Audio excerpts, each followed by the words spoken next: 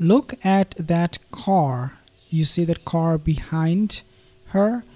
That car was moving very very slow to show respect to these princes of Saudi Arabia. And also take a look at this man. They're walking behind her. They're walking behind her as a respect. And these ladies came here.